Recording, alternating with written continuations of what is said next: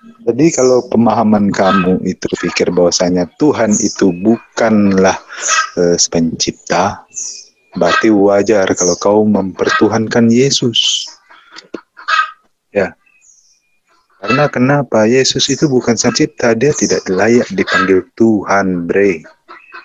Oke, saya bisa jelaskan sedikit, Pak. Jadi dalam iman Kristen, Allah itu Esa, dalam keesaannya ada firmannya, ada rohnya. Firman dan roh itu kekal.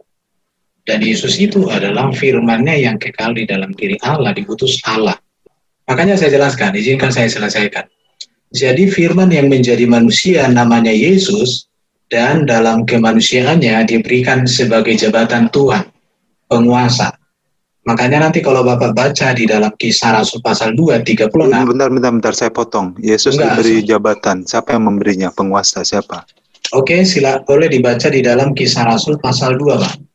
Jadi seluruh kaum Israel harus tahu dengan pasti bahwa Allah telah membuat Yesus yang kamu salibkan itu menjadi Tuhan dan Kristus. Jelas. Itu siapa yang bicara? Ini disampaikan oleh Petrus. Petrus itu pemimpin para murid-murid setelah Yesus itu naik ke Petrus yang berbicara, tetapi bukan Bapak dan Yesus yang berbicara masalah itu. Masalahnya kan begini, ini kita bicara Alkitab, Bapak. Saya Karena, berbicara Alkitab. Ya, ini Alkitab. Ya, seperti ini Pak Erben. Ah, di ya, sini. Gini Pak Erben ya. Hmm. Maaf saya potong pembicaraan Anda saya dan kamu itu adalah presiden. Ya, tiba-tiba saya tidak menjabat lagi. Tiba-tiba ada pihak ketiga bilang saya presiden dan saya tidak menjabat presiden. Jika saya seperti itu, kenapa saya pindah Ibran apa Yudais?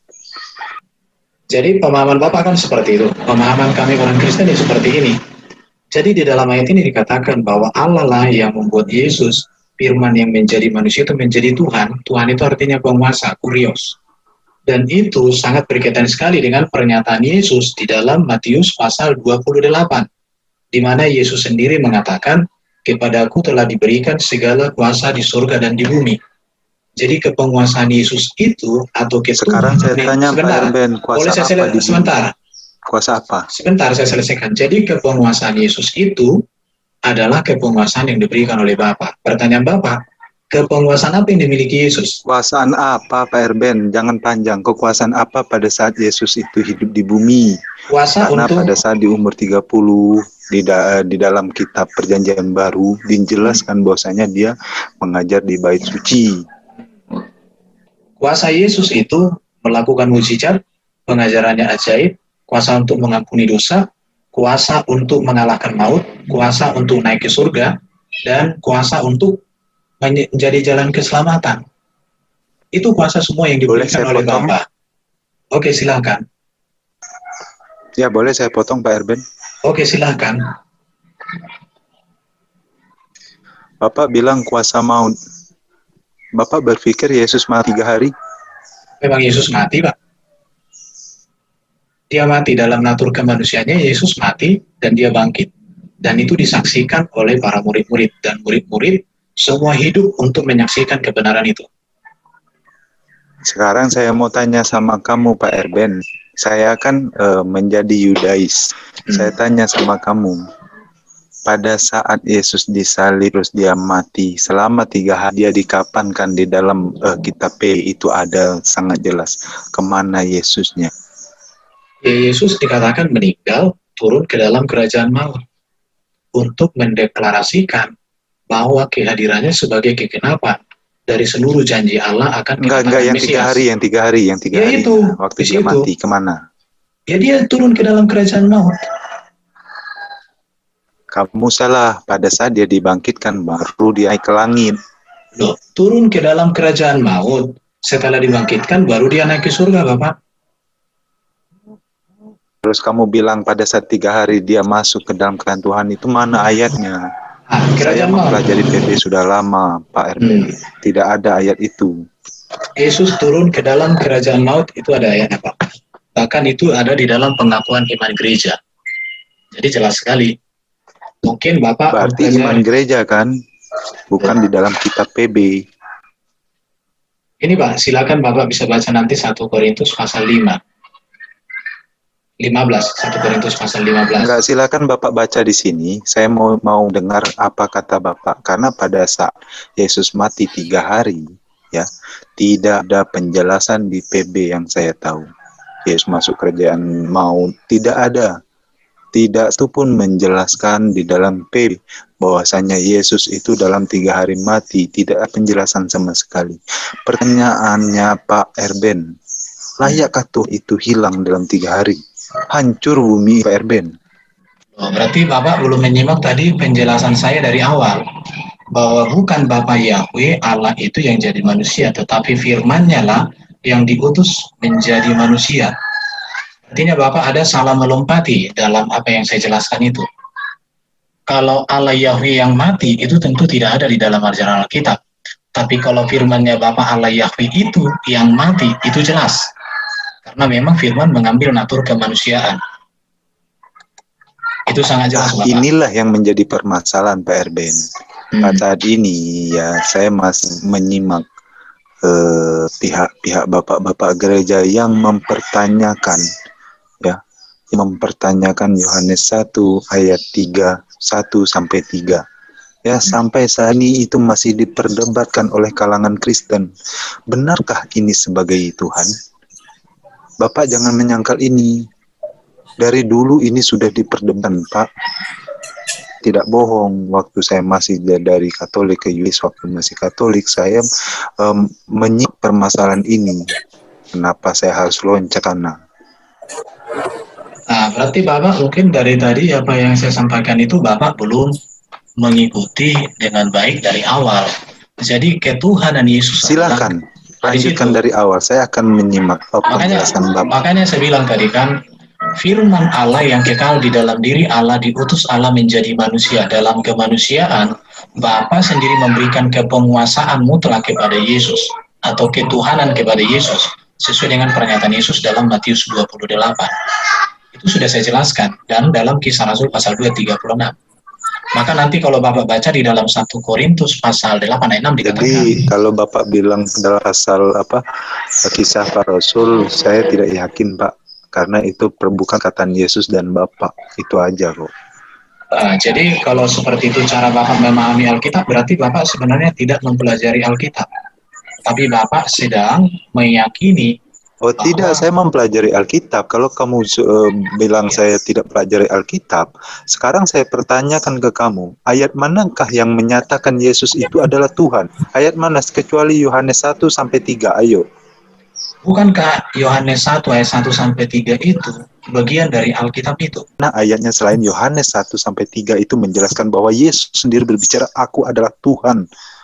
Dan Sang Pencipta langit dan bumi tunjukkan di sini Kenapa Tidak. saya ragu? Loh. Kenapa saya pindah ke Yudais? Kamu Berarti Bapak yang, Julius ayo, ini gini, sebentar, sebentar. pintar, Erben. Pak Julius, berarti Bapak tidak menyimak apa yang saya sampaikan di situ.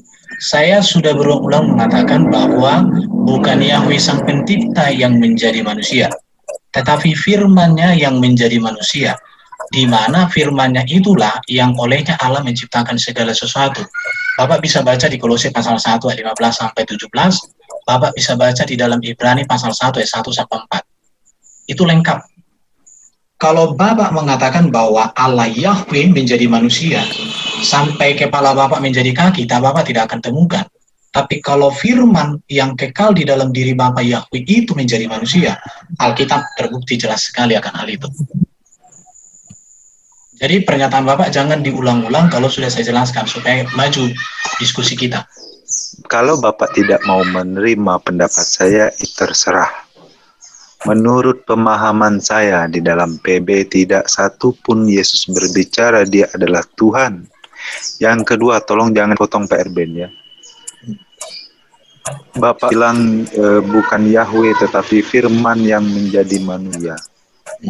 Firman itu adalah suatu perkataan atau perintah Yahweh. Hmm.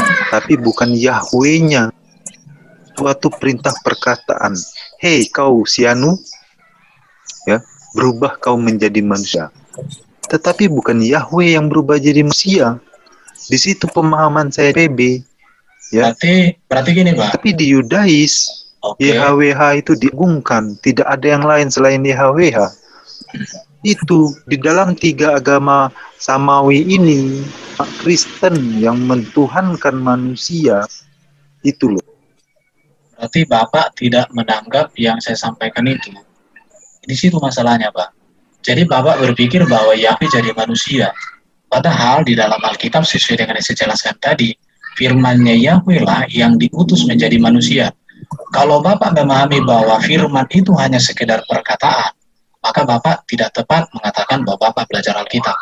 Karena dalam pemahaman iman Kristen yang saya pahami, logos itu bukan sekedar perkataan. Karena logos itu itu kata benda, di mana logos itu kekal ada dalam diri Allah.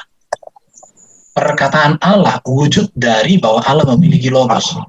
Jadi dalam bahasa Yunaninya, Bapak akan lihat nanti logos itu berbeda dengan lego. Lego itu itu perkataan tapi logos itu itu kata benda, sedangkan lego itu kata kerja.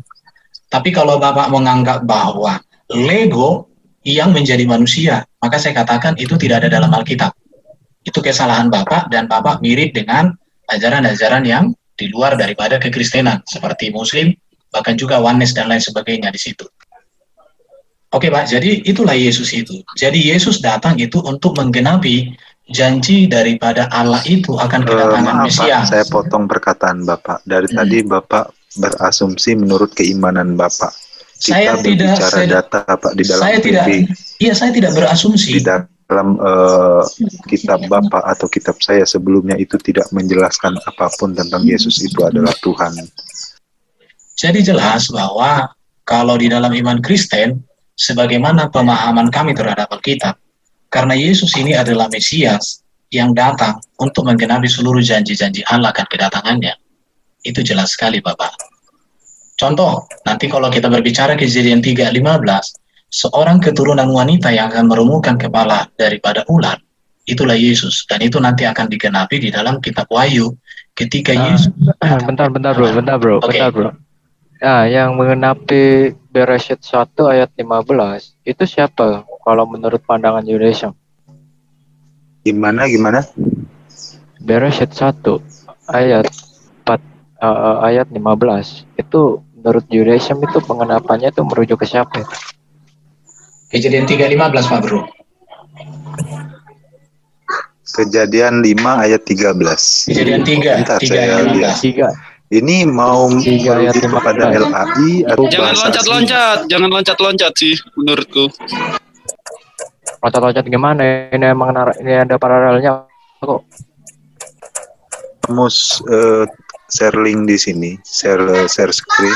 Kita lihat kejadian lo pasal 13 kita lihat. Kejadian nanti 3, bisa kelihatan kok siapa sebenarnya. Kalau masalah nubuatan ya tidak jadi masalah nubuatan. Tetapi yang penting jadi hal masalahnya yang genapin itu siapa bagaimana itu? bisa dalam pandangan kita yang mengenapi manusia, itu siapa? manusia itu Terus itu di, di Yesaya Yesaya 7 nubuatan itu eh, tidak pernah jadi ya, masalah. Ya, Yesaya 7 ayat 14 itu siapa yang menapi itu? Udah sekarang kamu share screen share di sini ayo kita lihat itu kan kitab kamu itu kan itu kan kitab kamu kamu harus bisa tahu dong menurut Judaism tuh kamu yang bertanya. Yang iya, saya yang bertanya. Makanya saya ingin tahu menurut Judaism. Silahkan kamu itu tunjukkan siapa? ayatnya. Nabi itu siapa? Saya minta share screen-nya. Oke, saya bacakan. Aku akan mengadakan permusuhan antara engkau dan perempuan ini, antara keturunanmu dan keturunannya keturunannya akan meremukkan kepalamu dan engkau akan meremukkan tumitnya. Pertanyaan dari kawan kita tadi, siapa yang dimaksud keturunan wanita yang meremukkan kepala iblis? Kalau kamu berbicara kejadian uh, di 3 ayat 15 tadi ya, di situ bukan Yesus, Bre. Bukan Yesus. Jadi, ya, dalam pemahaman saya, yang, maaf. Yang saya tanya kan, yang saya tanya itu kan menurut pandangan Yudaism, kenapa kok Anda mengatakan itu bukan Yesus? Ya emang Anda kan bukan Kristen. Anda kan Judaism. Nah makanya saya tanya Ngapain kamu Judaism, tanya Dodol? itu, itu yang yang mengenapi yang mengenapi ayat itu merujuk ke siapa itu Emang di sana ada nama Immanuel apa Yesus? Sekarang saya tanya sama kamu. Nah, habis itu, Ciri-ciri itu ciri-ciri Yesus di situ di habis itu apa? di dalam Yesaya. Jangan Yesaya banyak nanya ya, kalau kamu 12. tidak Itu mau siapa? urusan seperti itu. Nah, Anda di- ditanya kitab sendiri. Anda yang Sekarang marah-marah. saya tanya sama kamu, Ya, kan di situ saya- ada saya nama tahu. Yesus atau nama siapa? Hah? Ada nama Ya, itu Immanuel? itu Nggak ada, itu kan? pengenapannya siapa? Itu pengenapannya siapa? Itu loh. Yang saya ingin tahu itu menurut pandangan Judaism versi 3 ayat 4 Jadi ayat di dalam 15, pandangan itu kami, siapa pandangan itu? kami orang ini itu bukan eh, apa nubuatan tentang Yesus ya. Kamu paham itu? Udah selesai. Ini menurut pendapat saya. Kalau kamu mau terima silahkan, nggak mau bodoh amat. Ya oke Pak, terima kasih karena Bapak sudah menutup pembicaraan itu dengan kata bodoh amat. Berarti Bapak tidak sedang untuk membuka informasi untuk mengetahui.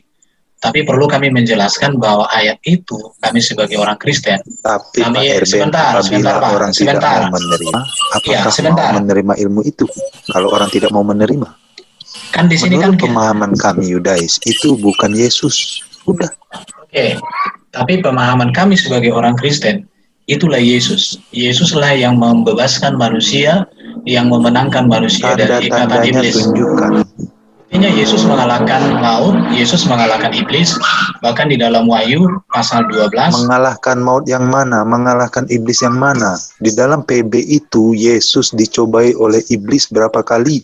Terus masalah maut, dia mati tiga kali. Oke, mengalahkan maut, mungkin Bapak belum pernah membaca kurasa di dalam Matius pasal 27 ayat 51. Lihatlah tabir bait suci terbelah dua dari atas sampai ke bawah dan terjadilah gempa bumi dan bukit-bukit terbelah dan kuburan-kuburan terbuka dan banyak orang kudus yang telah meninggal bangkit dan sesudah kebangkitan Yesus mereka pun keluar dari kubur lalu masuk ke kota kudus dan menampakkan diri kepada banyak orang. Jadi terbukti Pak bahwa Yesus itu sudah membangkitkan lewat kematian kebangkitannya. Itulah iman Kristen dan itu dipandang oleh orang Kristen kegenapan dari kejadian pasal 315. Belum lagi nanti kalau kita masuk di dalam Jadi Yesaya ayat itu 53. bertentangan dengan ayat di PB. Ya, kata kamu dia melawan maut pada saat dia disalibkan dia mati selama tiga hari. Apabila dia melawan maut dia tidak akan mati. Kan sudah bangkit, mengalahkan mati. Tiga harinya saya tanyakan ke kamu ke mana Yesusnya? Kecuali dia Ke mana pun dia bangkit. pergi tidak masalah, Iya, karena iya. pada hari ketiga dia tidak bangkit. masalah. Jadi Erben bilang dia melawan maut, sedangkan dia mati dalam tiga hari. Apakah itu tanda-tanda dia melawan maut? 1 Petrus pasal 3 jelas dikatakan ayat 18 dan seterusnya sebab juga Kristus telah mati satu kali untuk segala dosa kita ia yang benar untuk orang-orang yang tidak benar supaya ia membawa kita kepada Allah ia telah dibunuh dalam keadaannya sebagai manusia tetapi yang telah dibangkitkan menurut roh. Dan di dalam roh ia juga pergi memberitakan Injil kepada roh-roh yang di dalam penjara Ya, yaitu kepada roh-roh mereka yang dahulu pada waktu Nuh tidak taat kepada Allah, ketika Allah tetap menanti dengan sabar waktu Nuh sedang mempersiapkan bahteranya di mana hanya sedikit, yaitu delapan orang yang diselamatkan oleh air bah. Ini ayat dipahami oleh gereja bahwa Yesus turun ke dalam kerajaan maut untuk membebaskan orang-orang saleh seperti yang saya baca tadi dalam Matius 27 ayat 51-53. Jadi jelas, kami tidak hanya berasumsi dan masih ada beberapa ayat yang bisa kita lihat untuk menjelaskan hal itu. Di situ, Pak. Jadi ada ayatnya, sangat jelas sekali. pertanyaannya selama tiga hari terus ke mana kalau dia melawan maut? Berarti Bapak tidak mendengarkan apa yang saya jelaskan tadi. Di situ aja. Turun ke dalam kerajaan maut. Di dalam kisah Rasul pasal Bapak 2, itu menurut iman Kristen, tidak Alkitabiah. Ya iya dong, dia kan Kristus. Pada saat Yesus mati itu apa melawan maut? Jangan berasumsi di sini. Kalau Bapak berasumsi, saya sangat menyarankan Bapak dan Betul. ingat jangan mencoba mencocoki karena tidak baik. kan sudah saya bacakan ayatnya. Anda aja yang menolak. Di situ, Yesus turun ke dalam kerajaan maut. Sekarang begini, kalau kamu tidak setuju yang dengan saya sampaikan, ayat mana yang bisa kamu pakai di dalam ajaran PB untuk menentang ayat itu? Kalau Anda tidak bisa menulis, seperti ini. Tadi satu Petrus berapa, ya, Erben? Apabila orang mati, ya mati. 1 Petrus 3, Seperti halnya. Ya, Ayat. kamu kalau sudah mati ya mati. 18, Tidak ada 19. istilah melawan maut. Kan lawan maut, lawan kodratnya manusia, bahwa manusia itu bahwa mati. Oke, sekarang pertanyaan saya, di mana tertulis pernyataanmu itu? Sekarang se- kalau kamu bertanya seperti itu, pantaskah di dalam ayat eh, kitab PB itu menyatakan bahwasanya Yesus itu mati di kafani, setelah itu Mariamnya ke mana Yesusku hilang. Pada saat Yesus di kafani itu ke mana rohnya? Apa dia berjalan seperti robot? Enggak kan, dia punya roh. Naharnya ke mana tiga hari pada saat dia mati? Kan udah dibilang bahwa Yesus itu turun ke dalam kerajaan maut, kemanusiaannya mati. Lewat kematiannya itu dia Turun dalam kerajaan dengan maut. Emang maut kerajaan. Ya berarti kamu dulu bukan Kristen. Eh, kamu jangan bilang bukan Kristen. Kristen Kristen Ya, itu menurut pemahaman kenal. saya dulu dari tadi awal kita berbicara masalah Tuhan di sini. Ya, kenapa saya tidak layak berbicara bahwa Yesus itu adalah Tuhan? Karena dia hanya manusia dilahirkan dari Maria. Sekarang menjadi pertanyaannya ke mana dia pada umur 5 tahun sampai 30 tahun. Apakah dia menjabat sebagai Tuhan? Oh enggak, Jadi pertanyaanmu ini artinya gini. Pertanyaan Torah. Ya, sebentar. Sebentar Pak Munte. Berarti di sinilah terbukti bahwa kamu dulu bukan Kristen Katolik yang baik. Kamu bilang tadi, tadi kamu katakan bahwa Yesus itu sama seperti manusia biasa. Pertanyaannya, di mana ada manusia biasa yang lahir dari wanita perawan? Kalau tidak ada, berarti statementmu sudah gugur. Itu yang pertama. Sekarang saya tanya sama kamu, di dunia ini ada orang lah tanpa ibu, tanpa ayah. Oke. Adam dan Hawa itu dibentuk dari debu tanah. Oke, bukan izin sedikit ya. Oke. Sedikit Jadi- Erben. Sebentar. Oh, Ini harus- ini Sebentar, saya patahkan dulu si Julian. Jadi dari pernyataanmu tadi, kamu sebenarnya sedang menyangkal apa yang kamu katakan. Kamu bilang Yesus manusia biasa, lahir dari Memang manusia rahim. biasa. Sekarang saya tanya sama Sekarang kamu. saya tanya sama Lahir sampai 30, ke mana dia? Emang diceritakan? Tuhan. Ya, pertanyaanmu tadi kan bukan ke sini. Oke ya, jadi saya pikir untuk Bro Julian sudah selesai dulu ya. Jadi kamu bukan Julius, jangan Iya. berubah nama saya. Iya, jadi saudara Julius ini saya katakan bukan Yudaisme dan bukan mantan Kristen. bukan bukan bukan ketahuan. Kalau Oke, oke. dibanding Oke ya. dibandingkan ke Adam, Adam udah jelas Oh, tidak lo lo lo. Dilahirkan. Adam diciptakan itu udah salah itu. Oke, oke. Tolong nggak perlu baca Alkitab. Oke, sekarang Sekarang saya silakan. Menanggapi menanggapi Erben. Ketika Erben menggunakan parameter Sebentar, satu-satu kalian. Berarti, berarti dia manusia ya. Oke, Iya, saya iya, saya iya. luruskan ya sebentar untuk Bro Julian ini. Jadi, Udah keluar ya, hujan nih, udah keluar, udah keluar. oh masuk lagi Oke Erben, aku mau menanggapi ketika Erben memparameterkan ketuhanan Yesus dengan dia dilahirkan daripada seorang ibu. Saya tanya, Melkisedek itu lebih cocok kamu jadikan Tuhan sebab dia tidak berbabak dan tidak beribu, tidak berawal dan tidak berakhir. Silahkan Oke. Erben. Kamu seharusnya kalau orangnya cerdas, kamu harus baca pemahaman gereja tentang tidak berbapak, tidak beribu. Artinya di situ tidak ada orang yang tahu siapa bapaknya, siapa 1 Korintus ibunya. 4 ayat 6. Dengar Jangan dulu, dengar. yang tertulis. Biasakan, biasakan, biasakan mendengarkan orang menjelaskan.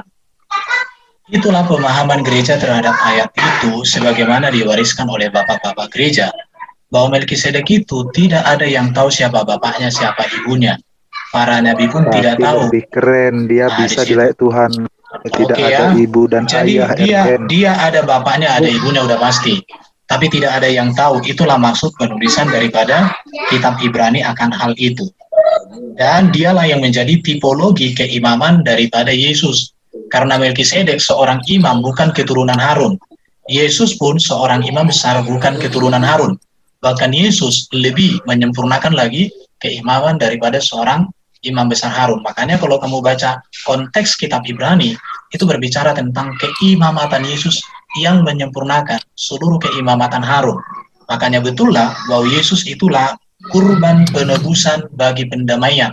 Karena itu kegenapan dari seluruh kurban-kurban yang ada dalam kitab Taurat. Oke ya? Oke, sudah. Oke. Oke, kamu boleh pakai doktrin gereja kamu untuk menjelaskan Sebentar, Melkisedek. ini bukan Iya. doktrin gereja, ini ya, nggak ajaran apa-apa, iman diam Kristen. dulu. Oke, oke. Nggak apa-apa, kamu boleh menggunakan iman atau ajaran gereja kamu untuk mendefinisikan Melkisedek tentang bapak dan ibunya. Kalau sekarang dia tidak berawal dan tidak berakhir, silahkan jelaskan. Tidak ada yang tahu awalnya, tidak ada yang tahu akhirnya Melkisedek. itu artinya makanya dibilang tidak ada yang tahu siapa bapaknya, siapa ibunya. Tetapi peristiwa itu adalah sebuah pewahyuan tentang kehadiran Yesus sebagai imam besar yang lebih agung daripada imam besar Harun. Itu. Oke, Ya, jangan sebentar Goldian. ya guys, ya guys, sebentar. Kamu diem dulu. Oke, oke. Oke, jangan gunain asumsi kamu untuk sebuah ayat karena 1 Korintus 4 ayat 6 jelas, jangan melampaui ada yang tertulis. Di situ jelas ditulis bahwa dia tidak tidak berawal dan tidak berakhir. Nah, ketika kamu mengasumsikan kalau Melkisedek itu tidak ada yang tahu awalnya dan tidak ada yang tahu akhirnya, itu dibantah besar oleh ayat itu karena dia tidak berawal dan tidak berakhir. Bukan tidak ada yang tahu awalnya dan tidak ada yang tahu akhirnya. Silahkan. Inilah kamu perlu belajar bahwa iman Kristen sebelum adanya Alkitab ada namanya tradisi lisan. Tradisi lisan yang sejalan dengan Alkitab itu sebuah kebenaran bagi iman Kristen. Itu yang tidak kamu mengerti.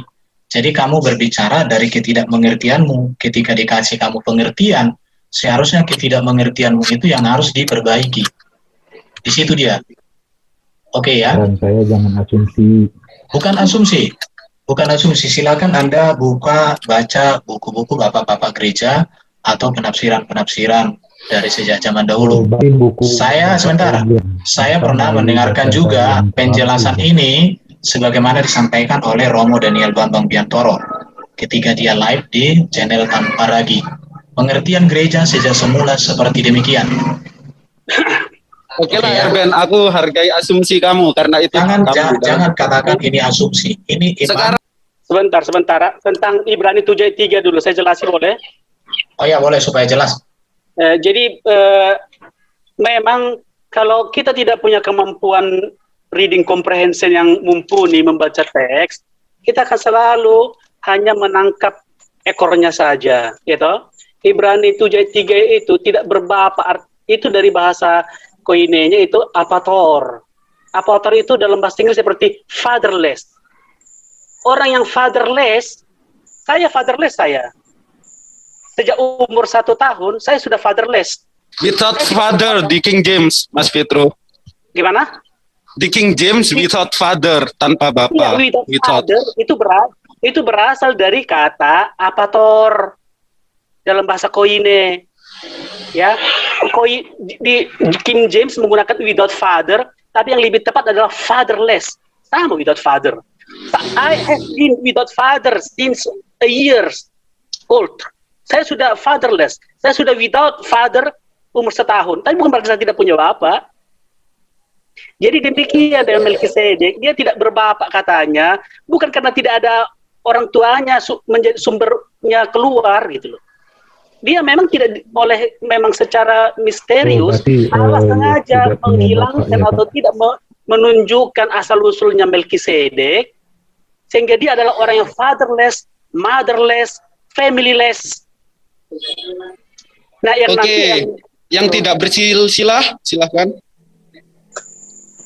itu itu saya tambahkan sedikit ya itu ya yang yang, yang tadi ya yang tak berawal tak berakhir itu kalau di koinnya dia bukan tulisnya apa uh, alpha omega ya di situ kamu sebenarkan itu untuk apa yang melekat penjelasan di Melkisedek itu ya kalau alpha omega ah, nah itu baru gitu ya beda, beda tolong tolong dibedakannya itu Jadi Iya. hati-hati hati-hati dengan kata, jangan hanya asal asal asal bunyi atau tangkap tangkap. Jadi kita eh, tidak melihat eh, arti yang lebih dalam karena perlu pemahaman reading comprehension yang mendalam untuk ini sebenarnya ini dasar ya dasar Saya rasa ini perlu sih, Petro. Kalau yang tidak bersilsilah gimana? yang yang mana Eh, kalimat keduanya, kamu katakan dia punya bapak, harusnya dia punya silsilah. Lalu ditegaskan di kalimat duanya dia tidak bersilsilah. Silakan. sama saja tidak bersilsilah ya Oh, kenapa Karena- ketika sebentar, ketika kamu ketika kamu Lucu mengatakan emang. kamu tidak punya bapak waktu satu tahun, bapakmu kan punya kakek, punya nenek, punya eh, atasnya kakek nenek itu apa lupa aku namanya. Berarti itu bersilsilah toh. Oke, silahkan. Nah, itu, itu makanya saya katakan itu Iya. itu bahasa eh, koinenya adalah agenealogetos Hah? Yang Silakan silakan di share screen. Kita bisa lihat sama-sama. Halo, maaf, boleh saya share screen sekarang? Sudah udah ada, ada. Sudah ada di depan. Eh, tapi di sana nggak ada artinya kali ya? Ada. Ada artinya. Nah, itu artinya adalah unregistered as to birth, ya. Karena memang dia fatherless, ya, fatherless, ya. Maka memang otomatis kita tidak tahu siapa dia keturunan siapa. Makanya dia without descent. Mengerti nggak? Sampai situ bisa mengerti kan? Sorry, aku tanggapin ya. Di situ eh, agenealogetos di terjemahan dalam without genealogi tidak bersil tanpa silsilah kalau dalam Iya. bahasa Indonesia. Ini aku Betul. gimana ya? Mencoretnya. Iya tanpa silsilah dia karena dia fatherless, maka dia tidak kita tidak tahu mau cari silsilah dia ke mana. Oke, kalau kembali ke penjelasan Pak Petro tadi tentang fatherless, eh, bahwa Pak Petro juga mengatakan kalau Pak Petro itu fatherless saat satu tahun, eh, Mhm. jadi penjelasan Pak Petro dipatahkan oleh kalimat duanya karena ketika fatherless Mana itu eh, Hmm. tidak bersilsilah without genealogi tanpa silsilah. Karena Tidak. ketika Pak Petro memiliki bapak, Pak Petro bahkan memiliki kakek, tidak. lalu di atasnya kakek, di atasnya kakek-kakek saya- lagi. Bedanya saya dengan Melkisedek, saya tahu sejak kapan saya fatherless. Mengerti? Tapi tentang za- eh, Melkisedek, kita tidak tahu siapa pun tidak tahu sejak kapan dia fatherless, sehingga kita tidak tahu ke, ke silsilah ke mana dia harus di, di, dirunutkan sebagai satu keturunan. Jadi tidak tidak salah, logika kalimat itu masih nyambung. Itu kehebatan Alkitabnya orang Kristen itu. Semua kalimatnya kalau dibaca dengan kemampuan reading reading comprehension yang benar, itu semua harmonis logikanya, idenya. Kalimat itu, kalimat itu selalu diawali dengan pokok pikiran utama, pokok pikiran pendukung, pokok pikiran utama, pokok pendukung. Kalimat utama, kalimat harmonisnya? Kenapa Kontradiksi. tidak harmonis? dong. Enggak, ketika disebutkan di situ without, tahu without kan tanpa genealo- genealogi, tanpa silsilah kan jelas. Tanpa, tahu nggak tanpa? Gini loh, itu apa kemudian itu bisa dipahami seperti kayak kayak gini ya. Eh, sebenarnya sekarang pun juga orang banyak tidak tahu silsilahnya. Kenapa? Misalnya Bukan tidak tahu. Ah, without, dia- dia- dia- tanpa. dia dia dipungut ya terus uh, diambil anaknya nggak tahu tuh orang tua siapa itu apa gitu. Dia cuma taunya uh, orang tua angkatnya. Itu tuh banyak kayak gitu. Itu bisa di- dipahami seperti itu. Tapi dia masih still have silsilah ketika dikatakan dia anak pungut, tapi itu without, tanpa. iya artinya artinya nggak di, di- dicatat itu kalau misalnya di catatan itu misalnya Iya. di pengadilan dia dia nggak dicatat. Nggak nggak tahu siapa bapak ini gitu loh. Tak bersisilah itu seperti seperti kayak gitu. Jadi silsilah itu adalah pohon keluarga yang terregister. Kalau tidak punya register, ya walaupun ada silsilah yang tidak ketahui, itu namanya tidak bersilsilah, unregistered as to birth. Ya, jadi eh, silsilah itu itu adalah pengakuan eh, formal legalitas dokumen dokumen ya seseorang yang tidak tidak bisa menunjukkan siapa bapaknya dia tidak boleh mempunyai daftar silsilah keluarga. Oke, ini menarik eh, ya siapa Pak Petro kalau dikatakan dia tidak tahu silsilahnya karena kitab Ibrani pun kita tidak tahu siapa yang menulisnya. Nah, itu yang menjadi tanda tanya. Oh itu lain topik itu saudara. Jadi jangan Iya. lompat. Enggak, tapi Jangan bukan lompat-lompat. Aku menyambung apa yang Pak Petro katakan karena di sini tulisannya jelas without father, without Iya. mother, without genealogy. Mau di eh, asumsikan atau ditafsirkan apa lagi? Neither beginning of day. Harinya tidak berawal. Nor all life and having ayat Hmm. selanjutnya apa ini? Having been made like moreover the son of God, he remains a priest. Jadi Iya. jelas Jadi jelas semua ungkapan itu fatherless, motherless dan dan dan semuanya without eh, dan dan seterusnya itu menunjukkan bahwa Melkisedek itulah manusia yang unik yang kita tidak pernah kenal asal usul. Tapi tidak mungkin dia tidak punya orang tua, pasti punya. Mana ada manusia tidak punya orang tua? Ada orang yang tidak tahu siapa orang tuanya, iya gitu loh. Jadi pemahaman fatherless, motherless ini harus dipahami dalam konteks bahwa kita tidak tahu siapa bapaknya. Fatherless, dia fatherless. Sejak kapan dia fatherless? Kita tidak tahu. Kalau Petrus fatherless when she was at one years old, gitu. Tapi kalau si Melkisedek kita nggak tahu.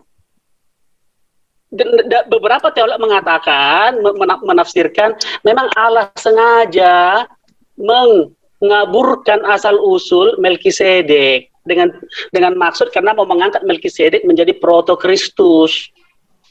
Ya Anda percaya atau tidak itu nggak nggak masa itu kan udah beda ya. Tapi penjelasannya seperti itu bahwa memang Allah secara sengaja menyembunyikan asal usulnya Melkisedek sehingga kita, sehingga kita tidak tahu sejak kapan dia fatherless, sejak kapan dia motherless, dan dari mana asalnya. Tanpa awal dia. Kalau kita tidak tahu asal usulnya, dia berarti tanpa awal. Dan kita tidak tahu akhirnya ke mana, ya tanpa akhir. Nah itu misteri dengan si Melkisedek. Demikian, terima kasih. Oke, Oke, jadi jadi eh, gini ya, sebentar. Dari apa yang disampaikan oleh saya dan Pak Petrus juga sama Pak YKS tadi tentang Melkisedek, itu sudah jelas, sudah punya dasar baik dari segi bahasa Yunaninya, dari segi pandangan bapak-bapak gereja, kembali kepada Bro Gordian, menerima atau tidak, terserah. Di situ kembali kepada dirinya. Oke? Ada lagi yang mau sebentar. Se- sebenarnya aku ingin saran ketika eh, dalam bahasa Yunani demikian lalu diterjemahkan bahasa Inggris without father atau tanpa bapak, without mother tanpa ibu, and without eh, genealogy tanpa silsilah itu harusnya eh, pihak Kristen mengajukan eh, ajuan ke Mahkamah Internasional untuk mengganti terjemahan itu atau Yunaninya karena kurang tepat karena di situ jelas dikatakan without tanpa. Oke, ma- terima kasih. saudara, usulmu itu terlalu lebay, saya pikir sampai ke Nah, mahkamah internasional. Mahkamah internasional tidak mengurusi eh, problematik linguistik, ya toh. Nah, sebenarnya kalau kamu mau belajar sedikit tentang tata bahasa, sa- kesus- kesusastraan, bahasa selalu punya punya cara untuk diungkapkan dalam berbagai kata, ya toh. Jadi kata, kata tidak selalu Ada lagi kawan muslim yang mau bertanya? Nanti habis ini baru kawan Kristen yang bertanya. Saya, saya Pak nanya Pak. Oh ya monggo Pak Zainal, silakan. Ada banyak kawan-kawan kita di sini yang bisa kawan diskusi ya. Monggo silakan. Ya saya cuman mau tanya aja, itu kan Yesus turun ke bumi, kok detail catatan mengenai dia tuh nggak lengkap gitu. Mulai dia dari rahim sampai dia disalibkan itu, itu gimana tuh bisa dijelaskan?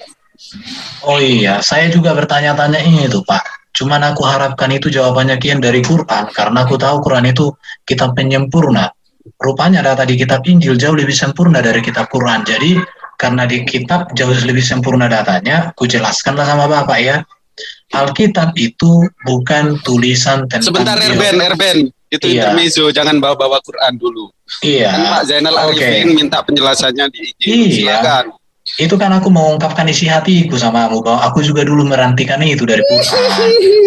itu cuman cuma karena nggak aku temukan, akhirnya aku patenkanlah Alkitab. Itu maksud aku, Bro ya. Jadi Alkitab itu bukan kitab sejarah dan bukan kitab biologis ya. Kalau ibaratnya dulu ada USG, mungkin bisa juga ditulis ada USG-nya. Oh, usia satu hari seperti anak saya dulu kan waktu hamil istri. Satu minggu, dua minggu dikasih tahu ada gambarnya. Jadi Alkitab itu kitab teologis Bapak ya, dan apa yang tertulis dalam Alkitab itu sudah cukup untuk menjelaskan proses atau konsep ajaran keselamatan tentang kehadiran Yesus itu. Lebih dari cukup apa yang tertulis dalam Alkitab. Kira-kira begitu. Supaya lebih lengkap ada beberapa kawan di sini supaya bisa. Oh ada Rio udah angkat tangan, monggo Iya. bro. Ini jawabannya maksud Injil ini dicatat ya. Maksud Injil dicatat itu seperti ini. Memang masih banyak tanda lain yang dibuat Yesus di depan mata murid-muridnya yang tidak tercatat dalam kitab ini. Ini pencatatannya itu dikhususkan untuk ini. Tetapi semua yang tercantum di sini telah dicatat supaya kamu percaya bahwa Yesuslah Mesias, anak Allah, dan supaya kamu oleh imanmu memperoleh hidup dalam namanya. Jadi nggak semua hal tercatat. Ini sudah ditegaskan sama penulis kitab Injil itu sendiri nggak semua hal. Misalnya contoh, kalian bilang minta ayatnya di mana Yesus mengembalikan keledai. Itu apa berhubungan dengan Yesus itu adalah Mesias? Dengan iman kita itu adalah anak Maaf, maaf, saya maaf, Aderion, saya nggak pernah nanya yang begitu. Saya orangnya sopan. Saya Ah, lebih iya, itu, itu lagi cuma example. saya itu Jadi- lebih mencari ilmu, ilmu oke, kebenaran. Betul, ya, ini dia ilmunya. Ini dia ilmunya. Jadi nggak segala hal yang kamu kita mau itu tercatat. Gitu. Betul, tapi nggak semua segala hal yang kita inginkan itu tercatat di kitab Injil. Nah, dari mana kita tahu tentang sebagian apa yang lain-lainnya itu hal-hal yang lain di luar di luar kitab Injil yang diinfokan di kitab Injil sebentar. Dari mana kita bisa tahu misalnya hal-hal yang di luar kitab Injil pengetahuan-pengetahuan seperti yang tadi Le Erben kasih tahu de- seperti yang dikasih tahu sama Le Petro tadi dikasih ngasih tahu bahwa itu yang dimaksud bukan tidak eh, tidak bersilsilah tapi memang tidak diketahui. Gue tadi itu mau mau nambahin tuh, cuman gue rasa terlalu panjang. Pe- Perkataan itu without without apa tadi? Nah itulah. Itu memang seperti apa yang mereka terangkan kalau dalam dalam segi linguistik ya. Cuman gue nggak mau nggak mau memperpanjang, udah cukup kok. Mereka berdua itu udah jelaskan seperti itu. Memang itu secara lisannya seperti itu. Karena kekristenan itu lahir justru pertama kali bukan dari kitab, Pak. Kalian itu kan memang Islam dan ta- Yahudi kan agama kitab. Kalau kita bukan. Ini dia nih.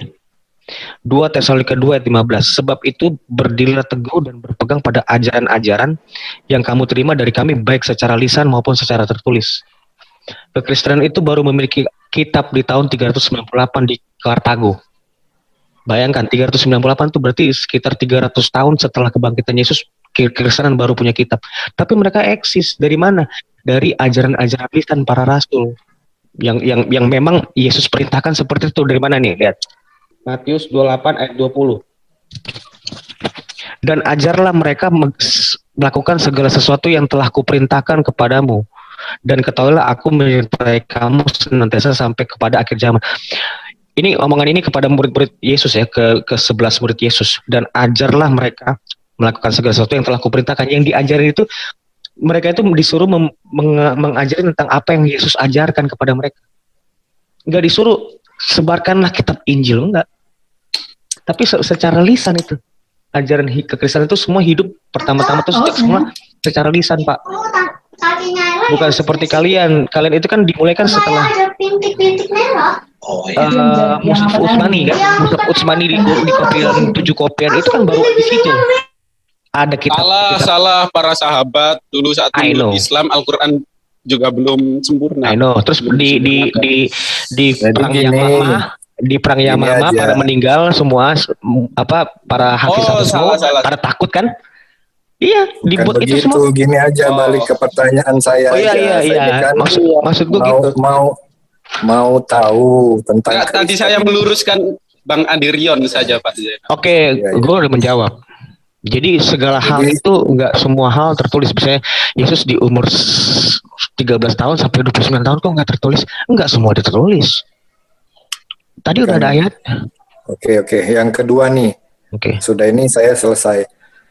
Jadi secara pemikiran saya kan berpikir begini, Yesus itu kan Tuhan yang Kristen, sudah turun ke dunia ini, tapi masih ada yang yang miss gitu, yang hilang, nggak komplit. Padahal dia Tuhan.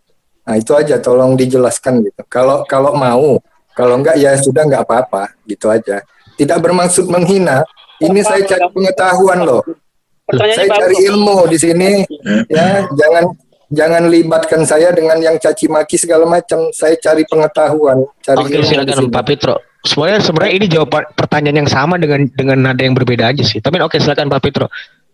Jadi eh, kayaknya masih menanggapi pertama tadi itu ya mengapa tidak lengkap begitu ya tentang apa informasi tentang Yesus. Itulah ke- kehebatan, keindahan, keprofesionalan literatur kitab suci Kristen. Bisa di mengikuti standar yang standar kesusastraan yang tinggi. Dan ini adalah wajar ketika kita menulis sesuatu ketika, di SMA misalnya eh, mengarang tentang keindahan Danau Toba. Gitu. Maka orang akan fokus menjelaskan tentang Danau Toba dan keindahannya. Tidak perlu Maaf, berbicara- maaf Pak, Pak Petro, Pak Petro, Bapak terlalu jauh muter-muternya. Jelaskan saja.